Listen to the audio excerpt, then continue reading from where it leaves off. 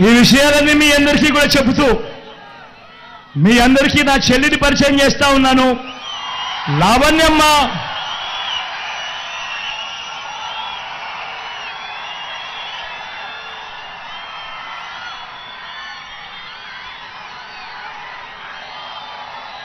లావణ్యమ్మ! మీలో ఒకరు. మీలో ఒకరు. మామూలుగా మంగళగిరి సీటు బీసీల సీటు. మంగళగిరి సీటు మామూలుగా వెనకబడిన వర్గాల సీటు. అత్యధికంగా ఉన్న జనాభా వెనుకబడిన వెనకబడిన వర్గాలు. అలాంటి సీటు నేను గతంలో ఆర్కేకి ఇస్తే నేను ఆర్కేకి చెప్పి ఆర్కే ఈసారి మనం త్యాగం చేయాలి ఇక్కడ నుంచి మనం బీసీని తీసుకొని రావాలి అని చెప్పి నేను ఆర్కేకి చెప్పి ఆర్కేకి ఉన్న సీటును తీసి నేను నా చెల్లికి ఇస్తే అక్కడ వాళ్ళు ఏం చేస్తా ఉన్నారు? బీసీల సీటు కదా. గెలవడం సులభం కదా అని చెప్పి ఏకంగా పెద్ద పెద్ద వాళ్ళందరూ వచ్చి డబ్బులు మూటలు మూటలు తీసి ఎన్నికల్లో గెలవడానికి ప్రయత్నం చేస్తా ఉన్నారు. కానీ నేను మీ అందరికీ ఒకటే చెప్తా ఉన్నాను. మీ అందరికీ ఒకటే చెప్తా ఉన్నాను. మీ బిడ్డ మాదిరి చంద్రబాబు బటన్లు నొక్కలేదు. మీ బిడ్డ బటన్లు నొక్కాడు కాబట్టి మీ బిడ్డ దగ్గర డబ్బులు కాస్త తక్కువ ఉండొచ్చు.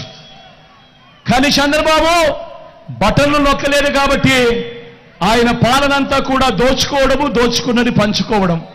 కాబట్టి ఆయన దగ్గర డబ్బులు ఎక్కువ ఉన్నాయి. ఆయన మీకు డబ్బులు ఇవ్వచ్చు. రెండు వేలు ఇస్తాడో మూడు వేలు ఇస్తాడో నాలుగు వేలు ఇస్తాడో ఐదు వేలు ఇస్తాడో. కానీ మీ అందరికీ నేను ఒకటి చెప్తా ఉన్నా. ఆయన డబ్బు ఇస్తే వద్దు అనద్దండి తీసుకోండి. ఎందుకంటే ఆ డబ్బు మనదే. మన దగ్గర నుంచి దోచేసిన సొమ్మే ఆ డబ్బంతా. కానీ ఓటు వేసేటప్పుడు మాత్రం అందరూ గుర్తు పెట్టుకోండి ఎవరి వల్ల మంచి జరిగింది ఎవరు ఉంటే మంచి కొనసాగుతుంది అన్నది గుర్తు పెట్టుకొని ప్రతి ఒక్కరిని కూడా ఓటు వేయమని కోరుతా ఉన్నా. అలాగే నా పక్కన ఎడం వైపున రోషయ్యన నిలబడి ఉన్నాడు. ఎంపీ అభ్యర్థిగా తాను నిలబడతా ఉన్నాడు.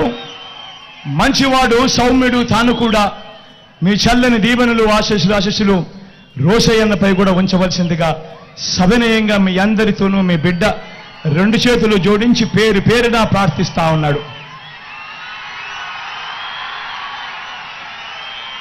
మీ బిడ్డ ఒక్కడే ఒక వైపున ఉన్నాడు. ఫలాన్ని మంచి చేశాము అని చెప్పుకునే దానికి ఒక్కటంటే ఒక్కటి లేని వాళ్ళంతా కూడా ఈ రోజు మీ ఇంట్లో మంచి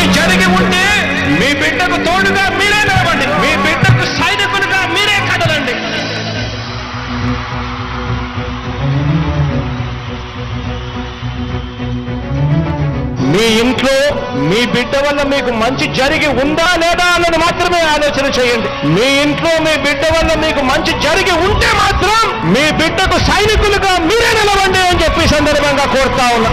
ఇచ్చిన మాట తప్పిత ఓటు మీ యుద్ధని చెప్పిన దమ్మున్న